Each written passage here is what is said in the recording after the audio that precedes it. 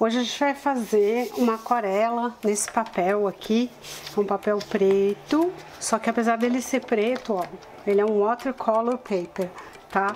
Então é um papel para aquarela, só que preto. Então eu vou fazer com tintas metalizadas para dar um, um, contraste. Já tem um vídeo meu no, no YouTube que eu experimento essas tintas, então quem quiser saber sobre as tintas, dá uma olhadinha lá, né, no tutorial dessas tintas.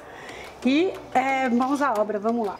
Então agora eu vou pegar esse pincel aqui, né, o da Vinci, dar uma umedecida.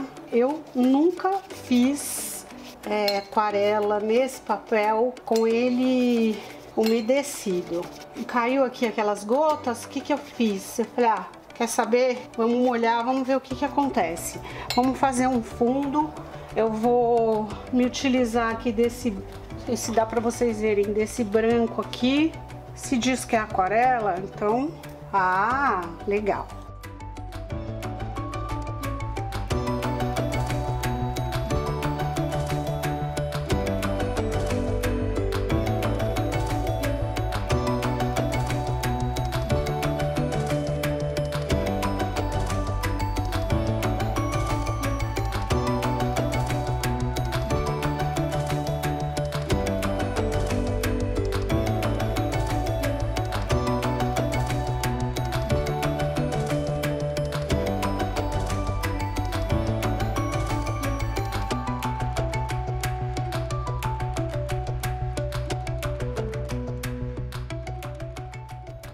Bom, pessoal, espero que vocês tenham gostado desse vídeo.